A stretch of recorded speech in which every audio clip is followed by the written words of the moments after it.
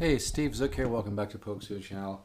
I'm showing this this uh, 70s made Japan uh, Aria Robert Conti. It's an amazing guitar. This thing is heavy too, which I kind of like. But anyway, um, I'm just going to shut up and play. This is plugged in. Now, the, and not this is the other version was unplugged. This is plugged in using a solid state amp.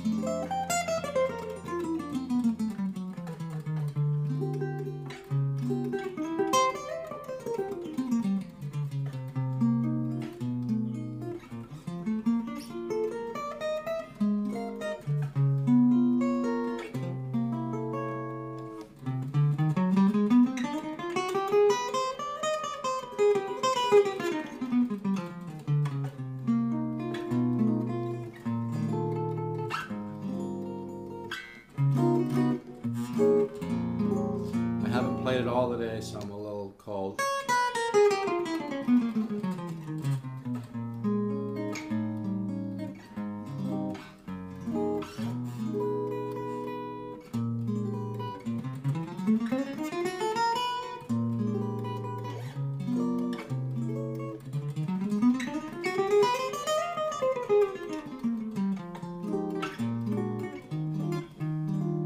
You know, I barely have the amp turned on right now. Like I said, it is a solid state amp. I'm just going to come up just a, just a tad in volume here because I barely have it up. And uh, like I said, this is a solid state amp. I, I really like I like this the tone of it though. But anyway, let's just play. it. I'm going to keep this short so it downloads. Really nice guitar though. I think this is a Benedetto floating pickup. Really has a nice tone.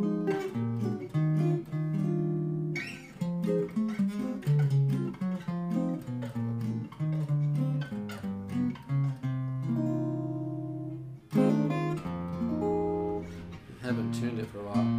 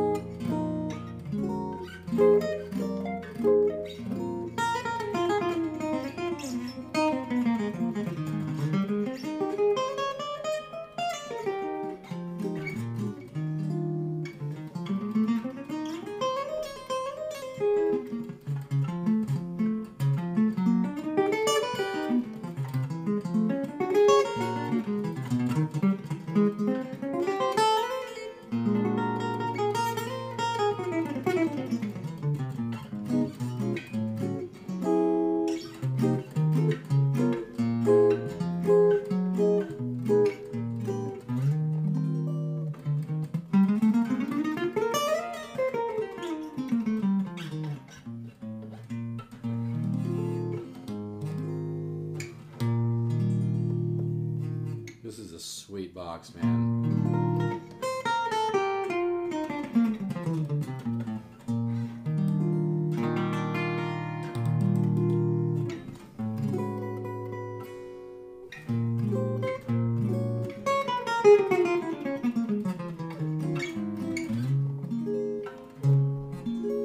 I'm going to stop right there.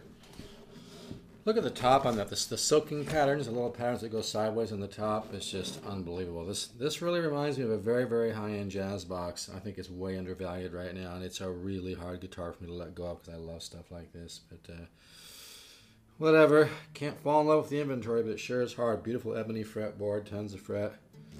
Really, really a nice guitar. I love the headstock. I love the giant headstock. I think that adds to the tone. Anywho, so. Uh, let's get this downloaded, uploaded, I guess I should say. So this is a 70s made in Japan. Um, Robert Conti model. It kind of reminds me of a cross, kind of a cross between a Super 400 and an L5. But honestly, and I'm not just saying this, and I know when I use that word honestly, people are like, yeah, right. But it sounds better than any old Gibson L5 I've ever owned in my life. I'm not kidding you.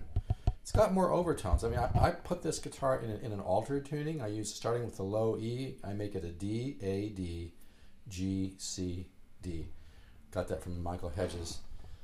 And I play this guitar, you know, I play like altered tuning stuff that I'd normally play on an acoustic guitar, this it just has such great overtones. And this guitar is loud unplugged. I mean, really has volume unplugged. Not just volume, but it has uh, that overtone series. It just it's really kind of reminds me of a cross between a really great vintage Gibson Super 400 and a great L5 with a little bit of Epiphone in there. It's just it's an unbelievable guitar. Really don't want to sell it. Really want to keep it, but it's hard to have a guitar business and start falling in love with stuff and keeping it. You know, not the best mix. All right, take care.